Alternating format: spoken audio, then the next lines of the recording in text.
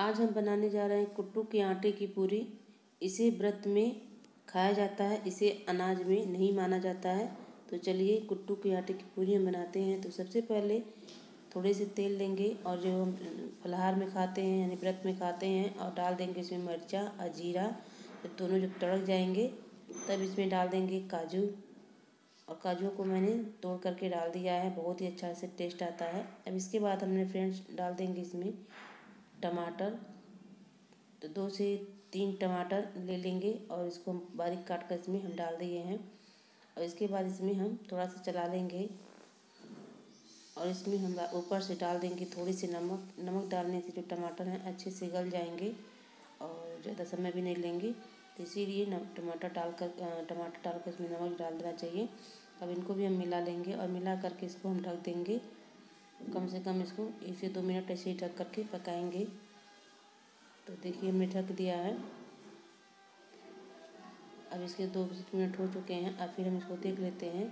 तो फ्रेंड्स, जो टमाटर है, बीच में मैंने एक बार और चला दिया था। तो ऐसे बीच में चलाते रहना है। नहीं तो ये जो नीचे से पकड़ लेगा तो इसका स्वाद बदल जाएगा। तो इसीलिए बीच में भी हमने इसको चला दिया था। अब इसके बाद देखिए, एकदम अच्छे से गल गए हैं। और जब गल जाएँगे तब इसमें फ्रेंड्स डाल देंगे चीनी। दो बड़ी चम्मच इसमें हम चीनी डाल देंगे। और फ्रेंड्स अगर आप लोगों को चीनी ना डालना हो तो आप लोग इसकी जगह पे गुड़ भी डाल सकते हैं। गुड़ से भी इसका टेस्ट बहुत अच्छा आ जाता है। अब इनको फ्रेंड्स हम अच्छे से मिला लेंगे और मिलाने के बाद इसमें हम तो पकाएँगे चीनी मेल्ट हो जाएगा। जब चीनी मेल्ट हो जाएगा तब इसको गैस पे बंद कर देंगे और इसमें डाल देंगे धनिया की पत्ती और इनको भी इसमें मिला लेंगे। बहुत ही अच्छा टेस्ट आता है धनिया की पत्ती से। तो ये हमारी। चटनी बढ़िया सी बन करके तैयार हो गई है।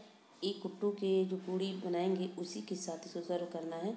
तो अगर आप लोगों को चटनी ना पसंद हो तो आप लोग सब्ज़ी बना सकते हैं, लेकिन ये चटनी बहुत ही अच्छी लगती है इस पूड़ी के साथ। तो ये हमारी चटनी बन करके फ्रेंड्स तैयार हो गई है। और इसको हम दूसरे बर्तन में निकाल लेते हैं। आप लोग देख पा रहे हैं, चटनी कितनी अच्छी लग रही है। और ये व्रत में खाने के लिए बहुत बढ़िया होता है। अब इसके बाद फ्रेंड्स, चटनी को जब हम निकाल लेंगे, इसके बाद हम पूड़ियाँ बनाएँगे। तो चटनी को रख देते हैं साइड में जैसे अगर हम पूड़ियाँ बनाते हैं। तो कुट्टू को आटा ले लिए हैं हमने, जितना आप लोगों को पूड़ियाँ बनाना है, उस हिसाब से अपने कुट्टू का आटा ले लीजिए, जितना एक कटोरी ले लिया हुआ है। अब इसके बाद इसमें हम डाल देंगे ये है ऑयल। तो ऑयल जो आप लोग मतलब व्रत में खाते हैं, वो ऑयल डाल सकते हैं। और इसकी जगह पे आप लोग घी डालते हैं, घी डाल सकते हैं।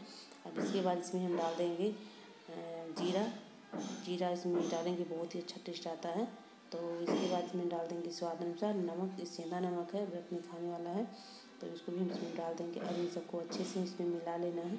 जिस तरह से हम एक मोयन देते हैं आटे में सादे आटे में मोयन देते हैं, उसी तरह से कुट्टू के आटे में मोयन देना है।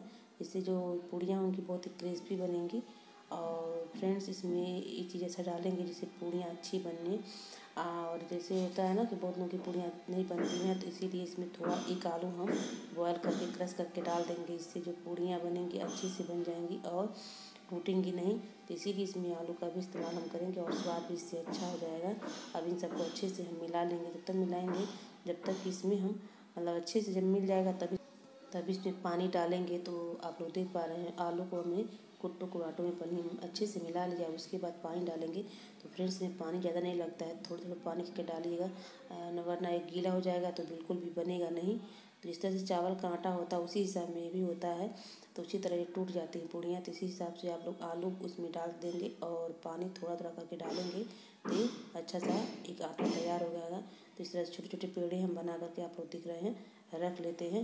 अब इसके बाद फ्रेंड्स लेंगे एक चकला और उस पर हम मिलकर आप लोगों को दिखा दे रहे हैं कितनी अच्छी पूड़ियाँ बन जा रही हैं। एक चकला लेंगे और इसी पे हम ये सूखा आटा मतलब जो कुट्टू का आटा है, उसी को हम इस पर मतलब लगा देंगे, ये चिपके नहीं पूड़ियाँ और इसके बाद इसको हल्के हाथों से इसको हम बेलेंगे।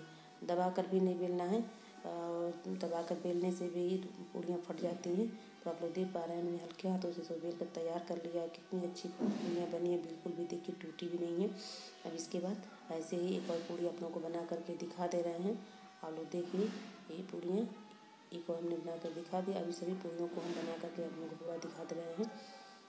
देखिए फ्रेंड्स, सभी पूड़ियों को मैंने एक बार ही बना लिया है। अब इसके बाद इसको तलते तलने के लिए तलने के लिए हमने जो व्रत में खाते हैं तेल, उसी को आप लोग लेना या तो घी लेना है तो मैंने मूंगफली का तेल लिया हुआ है। इस तेल को मैं थोड़ा ही तेल डाली हूँ, क्योंकि ज़्यादा तेल डालने से तेल ख़राब हो जाएँगे। तलने के बाद तो इसीलिए मैं थोड़ा तेल डाली हूँ और इसमें थोड़ा ही बनाना रहता है तो थोड़ा थोड़ा करके मैं करके बना लूँगी। एक पुड़िया मैंने डाल दिया है और इसको जब अच्छे से तेल गर्म हो गया है देखिए तो अच्छे से पुड़िया भूनने लगेंगी और इसको देखिए पलट देंगे।